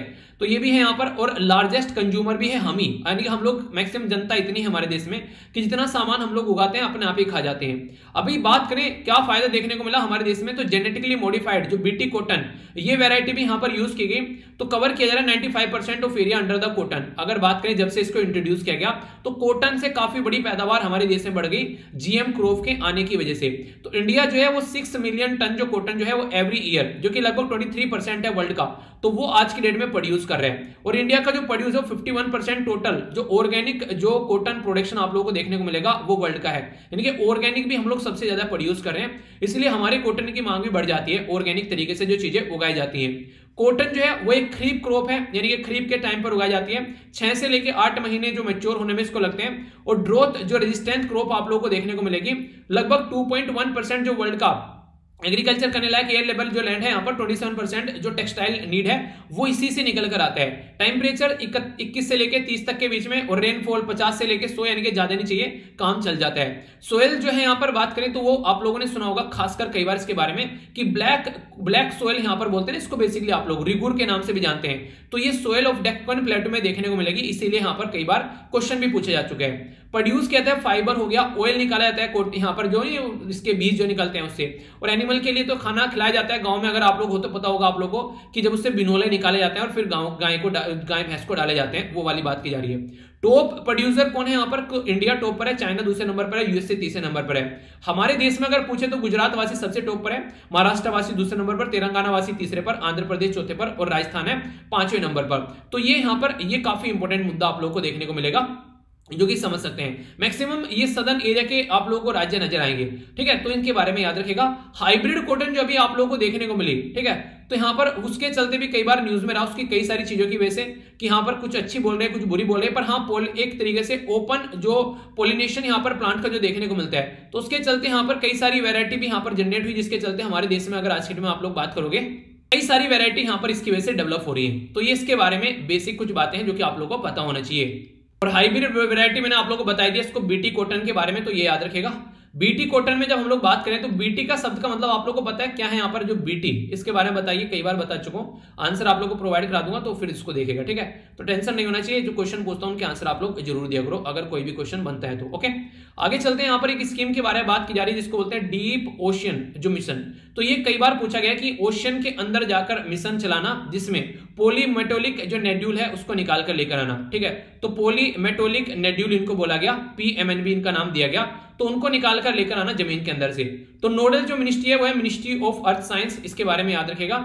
जो मिशन है यहाँ पर, वो प्रोजेक्ट सपोर्ट किया गया ब्लू इकोनॉमी के तौर पर। यानी कि ओशन के अंदर से आप लोग चीज़ें निकाल कर लेकर आ सकते हैं। और अगर ओशन के अंदर से चीज़ें निकाल कर लेकर आनी है तो ये ऐसे प्रोजेक्ट जो आते हैं, वो सेंट्रल गवर्नमेंट के अंडर में आते हैं। यानी कि स्टेट के अंदर जो चीज़ें हैं, वो स्टेट गवर्नमेंट देखेगी। बाकी यहाँ का जो एरिया हो गया, वो सेंट्रल गवर्नमेंट देखेगा, जो पानी के अंदर जो भी काम यहाँ पर करना होता है। आज की डेट में बात करें, यहाँ पर कई सारे कंपोनेंट है। एक तो टेक्नोलॉजी होनी चाहिए, ठीक है? डीप सी माइनिंग करनी पड़ेगी अंडर वाटर जाकर टेक्नोलॉजी इनोवेशन नहीं होगा तो काम नहीं चलेगा। तभी आप लोग यहाँ पर काम कर पाओगे और बायोडाइवर्सिटी को भी कंजर्वेशन करना है, यानी कि जाकर तबाही मचा दो, जैसे जंगलों में मचाइए। डीप ओशन सर्वे और एक्सप्लोरेशन करना पड़ेगा। एडवांस जो माइनर, जो mining station for ocean biology आप लोग करने पड़ेंगे। एनर्जी एंड फ्रेश, जो यहाँ पर फ्रेश वाटर फ्रॉम ओशियन उसको कैसे लेकर चलना है? और डेवलपमेंट ऑफ़ ओशन क्लाइमेट जो एडवाइजरी जो सर्विस है, वो देखने को मिलेगा। इन सब मुद्दों को इंप्लीमेंट करने के लिए हमारे देश में लगभग चार हज़ार करोड़ रुपए यहाँ पर अभी रिसेंटली दिए गए। पाँच साल के लिए 2021 से लेकर 26 तक का, ताकि हम लोग इसको इंप्लीमेंट कर सके। मिनिस्ट्री ऑफ़ अर्थ साइंस जो है, वो यहाँ पर इस मिशन के लिए काम कर रही है। और ये माना जाता है कि समुद्र के अंदर आज की डेट में भी 95 परसेंट ऐसा एरिया है, जिसको अब तक एक्सप्लोर नहीं किया है। तो उसको एक्सप्लोर किया जाएगा तो काफ़ी सारे रिसोर्सेज हम लोग अपने देश के लिए निकाल पाएँगे। तो ये सारे मुद्दे यहाँ पर देखने को मिले। आई होप कि आप लोगों के माइंड में कंफ्यूजन नहीं होगा। डिटेल में मैंने बात की, देखिए थोड़ा सा लेंथी हो जाता है कई बार लेक्चर जब मैं मज़े में पढ़ाने बैठ जाता हूँ, ठीक है? तो थोड़ा सा एडजस्ट कर लिया करो यार। बेसिकली नॉलेज में कोई कमी नहीं होनी चाहिए, ठीक है? सबसे पहले एक इंपॉर्टेंट कोटेशन देखी और इसी के साथ में फिर हम लोगों ने इंपॉर्टेंट डे देखा। ये तो पूरा एक टॉपिक ही हो गया इंपॉर्टेंट डे क्या? मैंने पूरा टॉपिक पढ़ा दिया ऑपरेशन के नाम भी बता दिए, कहाँ कहाँ पर क्या क्या चीज़ें, सारी चीज़ें बता दी। और मॉर्निंग में कौन कौन उठ रहा है वो यस बोलिए, और जो नहीं उठ रहा है वो नो बोल सकता है। बेसिकली यहाँ पे बोला था साठ प्रतिशत लोगों ने तो कम से कम यहाँ पर अगर बात करें तो साढ़े से लेकर साढ़े बजे तक जो वीडियो है कम से कम तेरह हज़ार लोगों के द्वारा तो मिनिमम देखी ही जानी चाहिए, ठीक है? जबकि हाँ तो सिक्सटी परसेंट के द्वारा बोला गया था, और भी ज़्यादा आप लोगों को देखने को मिलेंगे। पर फिफ्टी परसेंट तो कम से कम उठो, तेरह हज़ार तो कम से कम लोग यहाँ तक देखो। पर लेकिन आप लोग उठ ही नहीं रहे हैं। तो आप लोग नहीं चाहते क्या? आप लोग अपनी ज़िंदगी को एक शानदार तरीके से स्टार्ट करें, अपनी लाइफ में हमेशा मोटिवेट रहें। आप लोग देखो तो सही यार एक बार अपनी ज़िंदगी को ये सारी चीज़ें इंप्लीमेंट करके। इससे आप लोगों को एक मैं एक तरह का मुद्दा दे रहा हूँ आप लोगों एक तो हो गया सुबह समझ में नहीं आता उठ के क्या करना है। आप लोगों को मुद्दा दे रहा हूँ कि छह बजे उठ जाओ अपना उठ के अपने आप को फ्रेश फ्रेश करो अपना अच्छे से और डायरेक्ट आप लोग चीज़ों को स्टार्ट करो। अगर रात को जल्दी सो जाते हो तो सुबह को चार बजे उठ जाओ तो, तो अपने आप खुद से डिसाइड कर लो पर साढ़े छह बजे आप लोग फिक्स कर लो कि आप लोगों को हिंदू देखना है। साढ़े छह से साढ़े सात बजे के बीच और आंसर आप लोगों को प्रोवाइड कराने हैं ठीक है? तो ये होना चाहिए, आप लोगों का मुद्दा टारगेट भी आप लोग इसको रख सकते हैं ओके तो ये बेसिक चीज़ें होगी तो कौन कौन उठ रहा है बताएगा और इसको रेगुलर फॉलो कीजिएगा। तो यहाँ पर कई सारी बातें देखी, जो बेसिकली मैप बेस्ड क्वेश्चन भी मैंने देखा कॉमनवेल्थ क्या होता है, एक टॉपिक तो आप लोग कॉमनवेल्थ का ही कवर करा दिया। इसी के साथ में कुछ वोकेबलरी भी हम लोगों ने यहाँ पे देखी, और बाकी तो सारी चीज़ें आप लोग को पता है कॉमनवेल्थ और यहाँ पर हमने इनके जो बारबादोस के साथ में हमारे रिलेशन क्या है, वो भी मैंने आप लोगों को बता दिए। तो कोई कंफ्यूजन नहीं होना चाहिए। लिथियम के बारे में जो भी चीज़ें बन सकती थी, वो सारी बातें बता दी कहाँ कहाँ पर कितना प्रोड्यूस किया जा रहा है, हमारे देश में कितना है पीरियोडिक टेबल में कहाँ पर रखा गया है क्या क्या बनाया जाता है, पहले क्या था और आज की डेट में क्या है? तो लिथियम के बारे में मुझे लगता है कि इससे फालतू आपको लोगों को कुछ और पता होना चाहिए, ठीक है? नेक्स्ट यहाँ पर हम लोगों ने बेसिकली इसके बारे में बात की कॉटन के बारे में। तो क्या क्या चीज़ें हैं, क्या उगाया जा रहा है, हमारे देश में क्या क्या है, अभी कैसे यहाँ पर राज्य ने क्या बोला है, वो सारी बातें हम लोगों ने कर ली। इंपॉर्टेंट मुद्दा यहाँ पर सीबीआई के बारे में मैंने साम, दाम दन भेज सारे बता दिया आप लोगों को। क्या मुद्दा है, कहाँ कहाँ पर काम करती है, किस लो के थ्रू काम करती है कौन कौन सी कंसेंट होते हैं, वो सारी बातें। इसी के साथ में इंपॉर्टेंट जो योजना भी मैंने आप लोगों को बताई, जिसके बारे में आप लोग को पता होना चाहिए। तो ये था टोटल डिस्कशन अब यहाँ पर क्वेश्चन देख लीजिए। बात करते हैं यहाँ पर किसके बारे में। आप लोगों के सामने यहाँ पर बात की जा रही है इंडियन नेवी डे के बारे में। थीम बतानी है। इसी के साथ में यहाँ पर बात की जा रही है, इसके बारे में आप लोग बताइए। तो बेसिकली यहाँ पर नेवल प्लान के बारे में बात की जा रही है। तो यहाँ पर क्या है जो यहाँ पर भी सेलिब्रेट किया जाना है? सेवेंटी के टाइम पर। यह बताना आप लोगों ऑफिशियल बात करें तो क्वीन एलिजाबेथ को कौन से आइलैंड के द्वारा हटा दिया गया?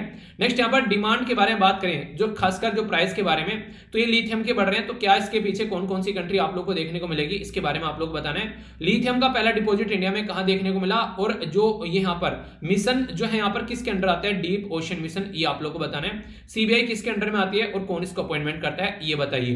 बाकी क्वेश्चन एक बार देख लेते हैं यहाँ पर इनके आंसर बताऊँगा। वर्ल्ड डे ऑफ़ हैंडीकैप्ड आप लोग को बताना है, जो यहाँ पर दिव्यांगन होते हैं, उनके बारे में बात की जा रही है। तो तीन दिसंबर को ये डे सेलिब्रेट किया था, इसकी थीम आप लोग को बतानी है। सी जी डब्ल्यू बी क्या है, ये आप लोग बताइए, इसके बारे में डिस्कस किया था, जिसकी वजह से कई सारी दिक्कतें भी देखने को मिल रही है। वर्ल्ड वाटर डेवलपमेंट रिपोर्ट किसके द्वारा प्रस्तुत की जाती है, ये आप लोग को पता होना चाहिए। पानी जो होता है, वो किस सब्जेक्ट में आता है सेंटर स्टेट या फिर कॉन्टिनेंट के अंदर में?